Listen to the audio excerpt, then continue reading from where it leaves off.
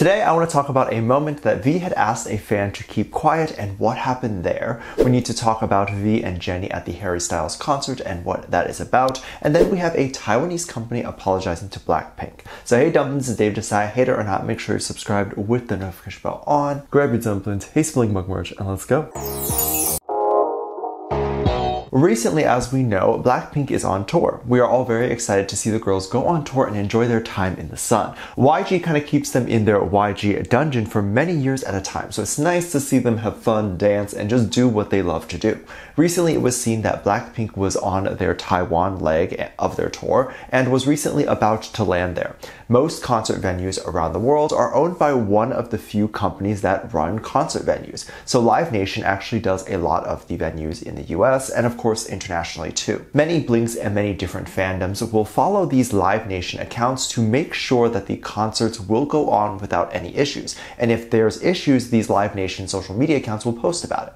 Recently, Blinks noticed a post that could not have been up for more than just a little bit. It was a post where it appeared someone was standing on the runway and took a photo of an alleged private jet that had taken off. The caption said, Walk yourself out in Chinese, and then the title of one of Blackpink's songs songs as if it's your last. Of course, Blackpink was nowhere written in the post, but if you're a music related company and you're putting a song title and it's around the time Blackpink is supposed to be in Taiwan, then people will automatically assume who the post is about. This post is very interesting to me because it would imply that whoever posted it was on the runway and possibly had walked Blackpink into the plane. But this alleged person who might have walked Blackpink into the plane also had the ability to post to Live Nation's Taiwan Instagram. Taiwan did release a statement and believe their statement. I will talk about that in a bit. But the backlash that the account got from this was swift and a lot. Of course, many Blinks were wondering why a post like this would be made and why an alleged Live Nation social media manager would be a hater to Blackpink.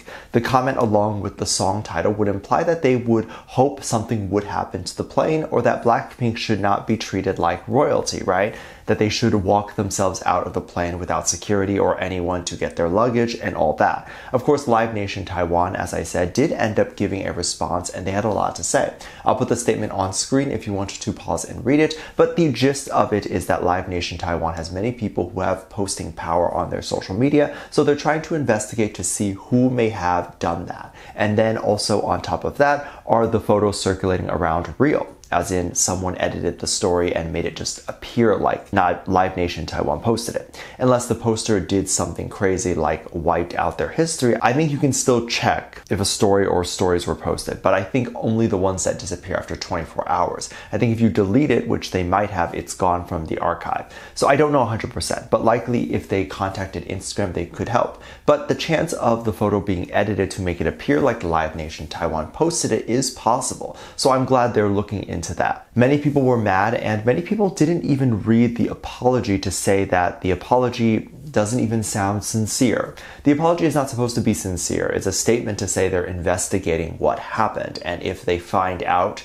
the person who did it, they will take action on that person. To crucify a whole company and to say that the whole company is bad just because of an action of one employee is awfully ridiculous. The company should not need to apologize for something that one bad apple might have done. But anywho, we shall see what happens and if any results come out of their investigation. Of course, social media is also very much well known to fabricate things just because it's so easy. I don't think every story or anything that is shared is always fake, but of course, as I usually say, when you see stories online, take it with a grain of salt. Even my videos, I get my information from news sites and what goes on on Twitter. However, sometimes there's information and things that the media don't fully know, and thus when it's reported on by the news site, and then I pick it up and interpret it maybe differently. It's this game of telephone, right? So take everything lightly.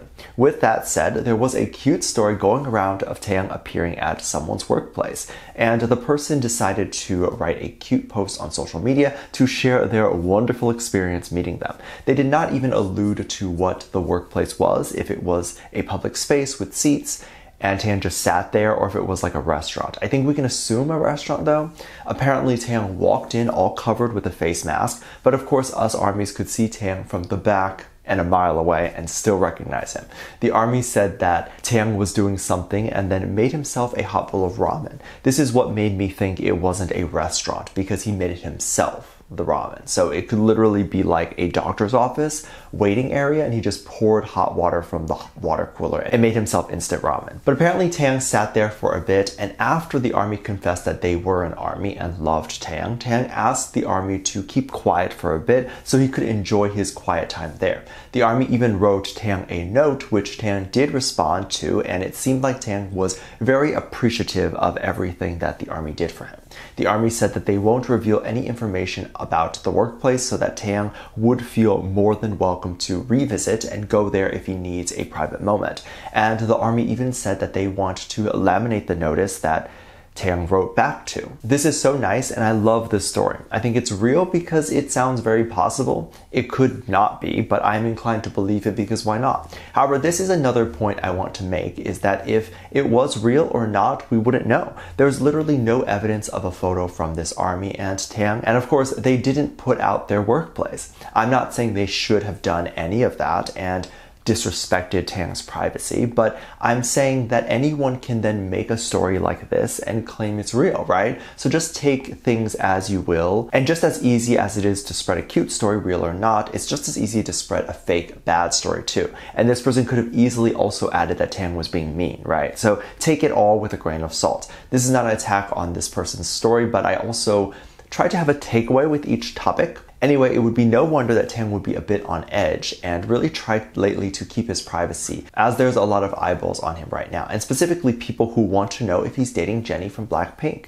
The rumors have died down a little bit, but it's still very huge in terms of, I think, people just normalizing the idea that the two are dating, even if it's not true. Taehyung and Jungkook and many other K-pop idols in Big Hit actually ended up attending the Harry Styles concert in Seoul. This was just a cute moment that we got to see everyone being more themselves and enjoying their time off. Of course, the boys probably enjoy concerts and shows just as much as we enjoy watching them, and I'm sure they like to feel normal every now and then. People actually spotted Jennie and Rose literally almost like five people away from Taehyung and Jungkook's group, and of course we see Taehyung and Jennie in literally one frame, and everyone freaks out. Oh my God, the rumors are real, even though there's no interaction there. And it doesn't even matter if Jennie was on the other side of the stadium. The fact that they're breathing the same air meant dating apparently to these fans. Some were saying that backstage they were likely dating or whatever. I don't think so. There was a small clip that went viral where we see Tang settled into his seat, but then we see Jennie and Rose getting ready to get seated. They were being guided along and took their seat, obviously not too far from Tang. People were saying that you could see Tang's reaction when he noticed Jennie there. People were saying that Tang was scared, and yes, I actually do believe that because if you look at his face at that moment, he actually does look scared. That is not a reaction you ever have seeing someone you know, let alone someone you're dating. I think he was shocked that she was there. If they were dating, it would not be a surprise that Jennie was there, right? Tang would have known and would have been able to to plan it with Jennie, if that makes sense. Like look away, look on his phone, and just pretend Jennie isn't there. The fact that he appears to, to me to be uncomfortable because he's scared of backlash online means he actually probably didn't know she would be there. And what couple doesn't text each other what they're up to? Jennie and V sitting close to each other does not mean dating either, since it's now believed that they got tickets to a VIP seating area. So, of course, they would be all within the same proximity.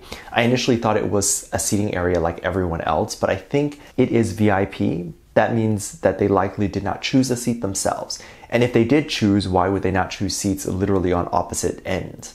Either way, dating or not, they are friends. We have seen Taehyung interact with Lisa. They were friendly to each other during the Paris fashion show. And then, of course, since the merge with YG and HYBE, they are, of course, somewhat business partners. So they're going to be friendly with each other. It doesn't mean anything more than that. Let me know what you think and make sure you check out my Patreon for more videos. Link down below. Thanks for this lovely comment right here.